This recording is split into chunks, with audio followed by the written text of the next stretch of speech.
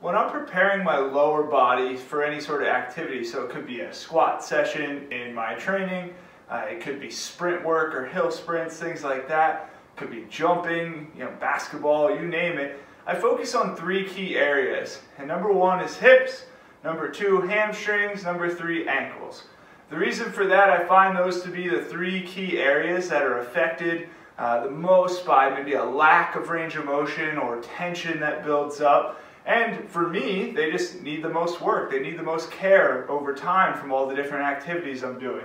So, my three go-tos for your lower body prep, I like to start with the hip circuit. So you're driving one leg back, sending it out to the side, back up nice and tall, and down. And as you're driving back, really think about engaging this glute getting everything turned on. Try to keep your upper body as still as you can and just kind of flow through this, really working your hip through that range of motion.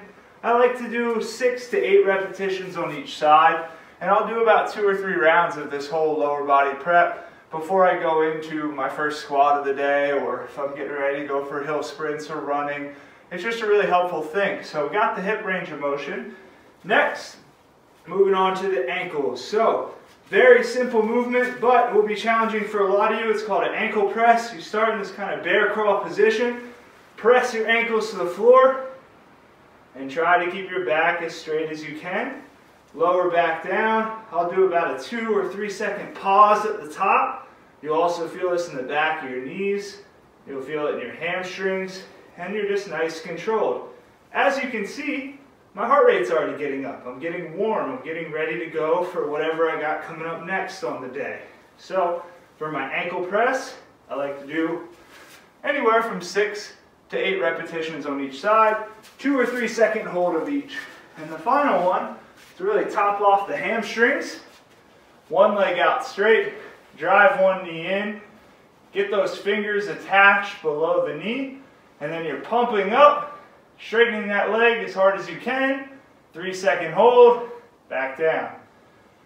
Straightening that leg as much as you can, three second hold, back down. Six to eight on each side of what I call a hamstring pump, and that's really helping lengthen the hamstring. The fingers attached just give you something to press against, which helps you really straighten things out.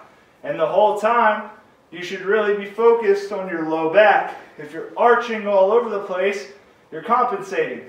Get your low back pressed down to the ground. So, in short, those are three exercises I love to do for lower body prep. Two or three rounds through, about six to eight of each movement, and adding the pauses in where I need to.